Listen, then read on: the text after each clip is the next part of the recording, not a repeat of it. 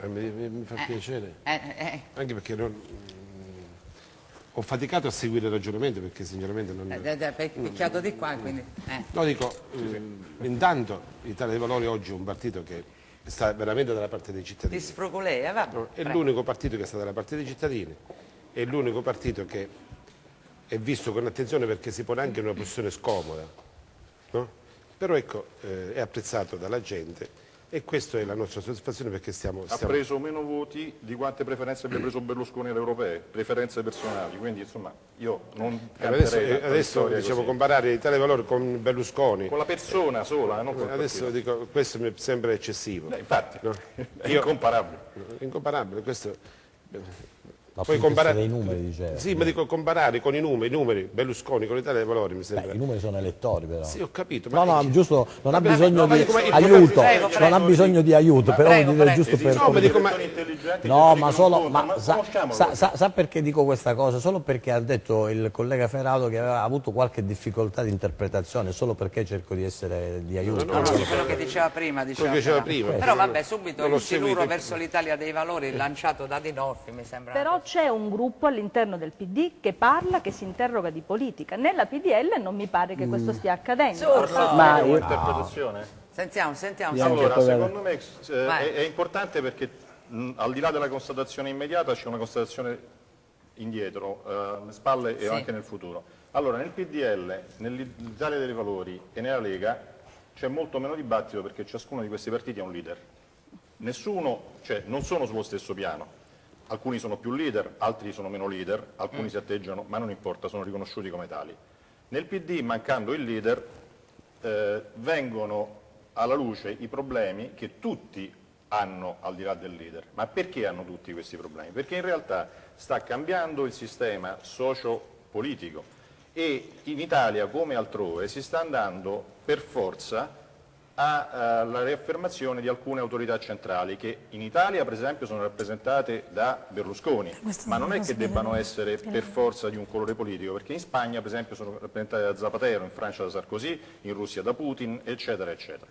Allora il problema è che i partiti, così come la gran parte degli elementi della democrazia delegata, hanno fatto in gran, mh, buon- mh, parecchio il loro tempo, eh, hanno un valore molto meno forte di prima e se- non lo metto in dubbio è che lei non, è d'accordo, non sia d'accordo. su E serve, e serve, siccome stiamo andando verso quel genere di cosa, dobbiamo scegliere se vogliamo essere schiavi come in America, dove comandano soltanto le lobby, o come succede in Europa, tra l'altro anche in Francia, avere una possibilità di condizionare in parte la politica tramite la partecipazione diretta, tramite la maggior parte della mobilitazione e della partecipazione. A questo punto i partiti se hanno, eh, possono avere un ruolo se hanno un vero leader, se un leader è anche capo di Stato o capo di governo. Il PD si trova a mio avviso in difficoltà perché, non è, Perché? non perché non ha- non ha- perché è erede di una democrazia delegata, non ha voluto, e questo è- per me è, è- un eh, cioè, a loro, è a loro vantaggio, non ha avuto rispetto all'Italia dei valori la decisione assoluta di voler difendere il vecchio e le oligarchie, E è allora? piuttosto combattuto, ma non ha l'abitudine, non ha la mentalità proprio per la democrazia diretta e per la vera partecipazione e non ha ancora capito l'importanza della- della- della- dell'autorità. Quindi il Partito Democratico è in un guado, gli altri partiti sono, eh, secondo me stanno meglio in salute, tutti quanti. Mi sembra Ma perché si è, si è passato ormai da un liderismo collettivo che c'era prima, eh. Cioè? nei partiti oggi c'è un liderismo individuale, tant'è che su cinque partiti che sono in Parlamento, no? quattro, quindi il PDL, l'Italia dei Valori, la eh, Lega e l'UDC hanno un, diciamo, un leader che è un leader individuale. Sì, l'UDC è più che altro il suocero, il leader, ma, Ma sul partito invece non sono d'accordo, perché il partito è un'istituzione, cioè finché la nostra Costituzione esiste, nella misura in cui non la cambiamo, i partiti sono strumenti di democrazia, sono istituzioni di democrazia, di mediazione della rappresentanza ed è evidente che il PD sta facendo effettivamente una grande fatica a livello nazionale per strutturarsi. Perché è proprio la Vi- mediazione che è fallita. sì, ma eh, voglio dire, questo è frutto anche del fatto che diverse culture... eh, Ma è valida da 60 anni, 67 anni la mediazione. Guardi, io penso una cosa, il Partito Democratico non, gode- non godrà probabilmente eh, di buona salute, così come non Ma- godono di buona salute tutti i partiti che si stanno adeguando a un sistema bipolare Ma- e quindi maggioritario. Però eh, io farei Qualcuno, bene... qualcuno sta bene in salute, eh, adesso a me non importa perché Ma, io non, sono- eh, non appartengo ma a nessun quale? partito, ma Cioè, il esempio part- il PDL e l'Italia dei Valori stanno benino, eh, non Ma il. PDL sta bene perché c'è un Bisogna elemento capire, aggregante scusami, che si chiama Berlusconi. no, Tolto bisogna capire Berlusconi non c'è più elemento aggregante. Non il c'è PDL è più- un blocco sociale. eh, Possiamo litigare come classe dirigente. gram- ci sono anche appetiti mortificati, probabilmente, diciamola tutta, non c'è questo scontro di visioni del mondo antitetiche e contrapposto, oh, di scuole di pensiero, dei peripatetici, come direbbe la signorina, la nostra professoressa, non ci sono i presocratici, non ci sono i seguaci di Nietzsche, c'è qualche appetito mortificato, insomma, cerchiamo di chiamare le cose col loro nome. A questo punto, come facciamo noi, davanti a questo scenario, lo chiedo a Gabriele e poi a Fernando, a trarre, a ricavare un elemento che ci possa indurre nell'analisi politica, al di là no, degli appetiti, delle- dei, dei coltelli, degli, degli omicidi, dei feriti e dei morti, come, come facciamo?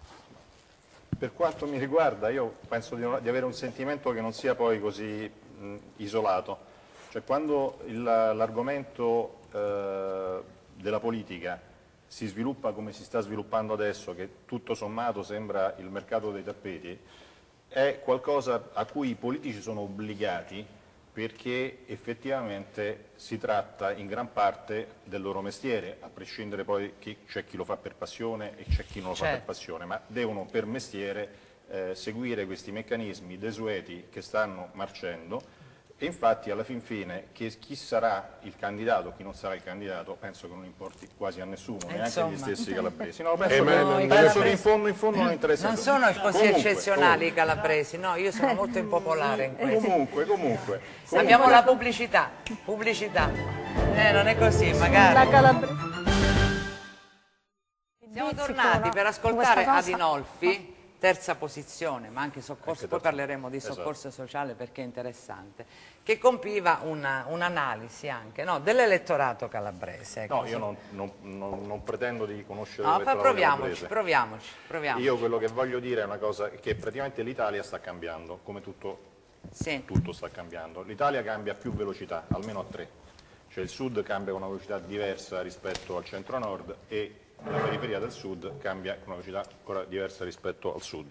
Quindi è possibile che certi discorsi, eh, cioè, diciamo, cer- certe tematiche, certe battaglie antiche, tutto sommato inutili, perché poi dopo sono inutili, perché poi sappiamo benissimo che qui mancano le infrastrutture, mancano i soldi, manca l'intervento, manca l'interesse, manca tutto, quindi alla fine chiunque sia il, eh, il governatore della, della- della regione eh, ammesso che, che lo faccia per passione non avrà grandi possibilità di fare qualche cosa. Il punto essenziale, secondo me, è quello di andare oltre, cioè capisco che chi fa parte di partiti adesso eh, ha la necessità di aggrapparsi all'immediato, ma bisogna andare oltre. Andiamo oltre. Come si va oltre? Si va oltre, secondo me, cercando di rafforzare il più possibile la democrazia diretta, in eh, eh, come alleata della democrazia autoritaria, facendo saltare la democrazia delegata, che è quella che ha creato tutti questi disastri.